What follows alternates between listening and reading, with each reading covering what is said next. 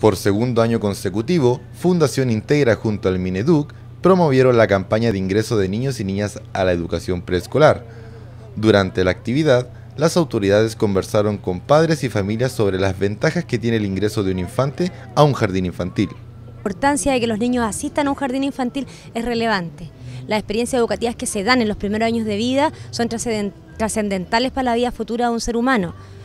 No es desconocido para nadie que el 75% de la función cerebral se desarrolla en los primeros años de vida. Por lo tanto, la posibilidad de mejorar los procesos de aprendizaje de los niños, está, esta es la posibilidad real en esta eh, etapa de la vida del ser humano.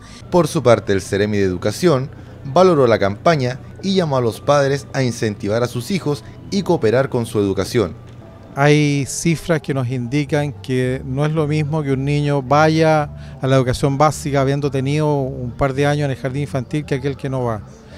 Hay diferencias en los aprendizajes, en el estímulo, en cómo reacciona, en las cosas que aprende.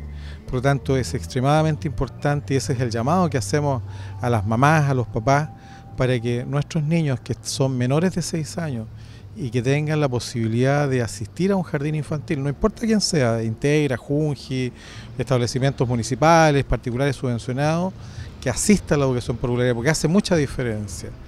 Si el trabajo lo hacemos bien en la educación parvularia, los resultados van a ser óptimos en la educación básica y consecuentemente en la educación media.